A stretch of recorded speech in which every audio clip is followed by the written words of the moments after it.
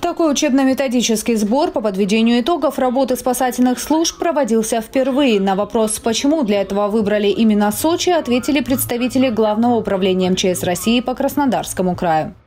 Конечно же, не случайно выбрана площадка города Сочи, где мы э, комплексно показываем в целом, как должны решаться вопросы э, в области гражданской обороны, защиты населения территорий, в области обеспечения пожарной безопасности и безопасности людей на водных объектах. Первым состоялся смотр сил и средств сочинского подразделения МЧС. Их иногородние коллеги смогли увидеть, как работает уникальная техника. Второй частью стали показательные учения. Здесь уже была продемонстрирована слаженная командная работа всех сочинских спасательных служб. По сценарию в результате короткого замыкания произошло возгорание. Группе пожарно-спасательного гарнизона предстояло провести эвакуацию людей из горящего здания и локализовать очаг пожара.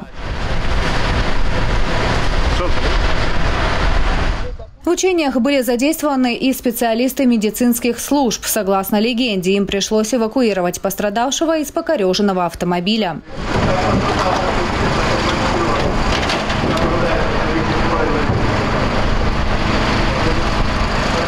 Масштабы работы спасательных служб впечатлили не только гостей города, но и самих сочинцев. У нас уже много лет очень плотный событийный график в городе.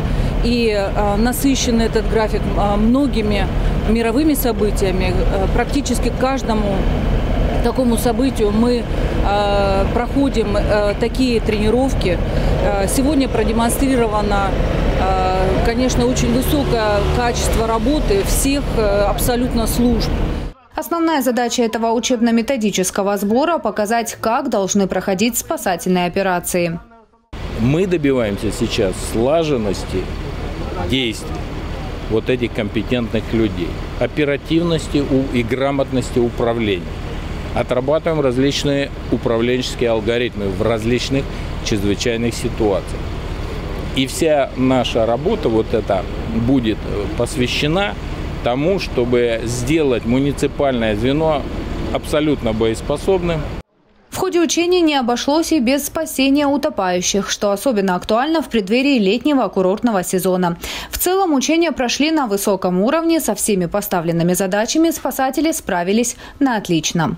Татьяна Говоркова, телекомпания «ФКТ».